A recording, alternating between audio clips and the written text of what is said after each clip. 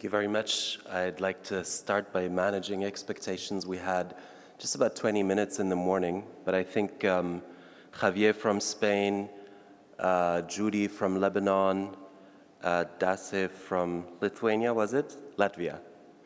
Uh, we're really great uh, people to work with on this. Our subject was the media, and we really agreed pretty much at the beginning that the problem needs to be reframed because we've been thinking of media a lot in the last 50 or so years as a freedom of speech issue, as, an, as, an, as a matter of an access to information. But more so than that, it is a discursive space where people are forming opinions that are politically relevant. And so that space is, has a structure that is evolving, and looking at that structure and how we can positively influence it has been the core approach of this group. And so when we look at the structure, we're looking at traditional media, and especially broadcasters that play a major role both south of the Mediterranean and in Europe.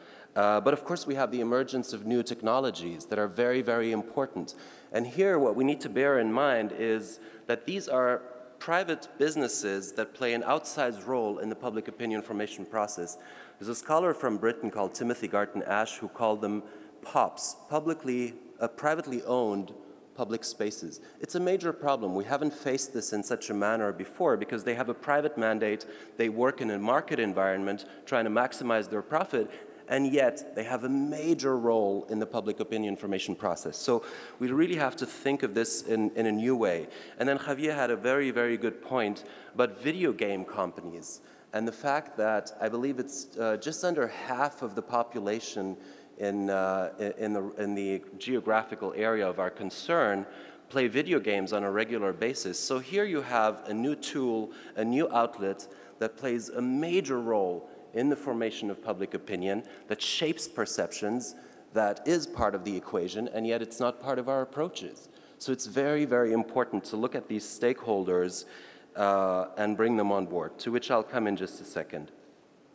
Uh, we talked, when we, when we spoke about video games, we talked briefly, Javier, again, your example of Jihadi John being modeled after a video game character, and therefore, you know, inspiring a real-life person, a real-life uh, terrorist. Uh, all of these are new phenomena that we, know, we need to think of differently.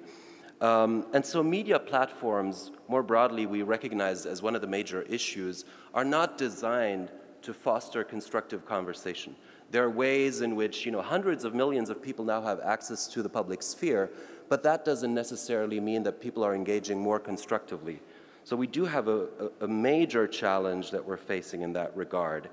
Um, because what we ultimately are trying to do is to build positive bridges uh, and help people uh, you know, develop values of culture and uh, respect and tolerance and acceptance as well.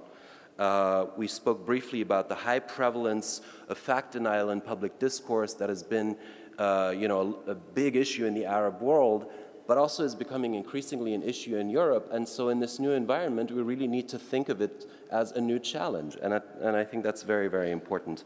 And then lastly, we identified as an issue the lack of inclusion of vast parts of the population from the public discourse. So you're, run, you're operating a public discourse that largely excludes uh, you know, youth, women, marginalized communities, especially in the Arab world, but I think very much so in Europe as well.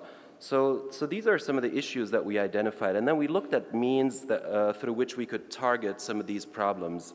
Uh, we do believe that whatever initiative we look at has to be an organic initiative. It cannot look as something that is imposed by an international organization. Uh, and then it does need to work on popular culture. It needs to look at some of the themes that millennials are being influenced by uh, and use those positively. Um, we discussed briefly the possibility of the creation of a forum for constructive exchange. So here, uh, the answer is not simply Facebook or Twitter, because again, these media are not designed to foster exchange, because that is not their mandate. They don't have a democratic mandate. And so I think it's very important to think of ways we can conceive fora that are designed to do just that. Uh, and then a certain solution orientedness is also very important that isn't inherent to, to social media, where we look at challenges that are of common or major concern, but also agree to have conversations for the sake of finding solutions, more so than having conversations for the sake of conversation. We mapped a couple of the partners that could be part of the solution.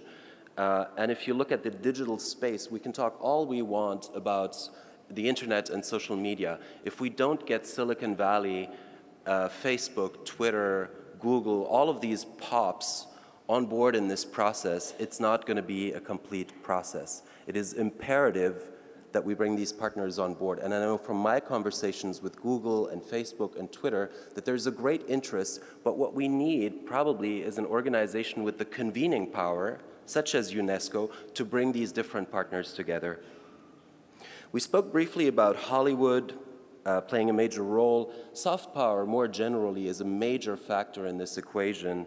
So our video game companies, the Arab film industry plays an outsized, outsized role in shaping perceptions and opinions. Uh, public broadcasters continue to play an important role, not only in the Arab world, but also in Europe. Um, and then opinion leaders and influencers, again, especially on social media, could be part of this effort to drive forward a more constructive environment.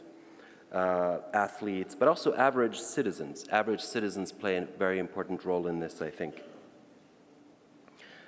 We discussed briefly uh, risks. So the key risk, again, is that there may be a perception that this isn't an organic process. I think that's the single most important risk. That's why the role of UNESCO has to be that of a of a, a, an organization that has the convening power to bring together all of the other stakeholders, more so than UNESCO itself operating a program. Um, and then finally, uh, we discussed that we need to look at ways of uh, creating constructive debate more so than dialogue as a paradigm, debates that are really solution oriented and that, that can help us uh, go forward together. Thank you very much.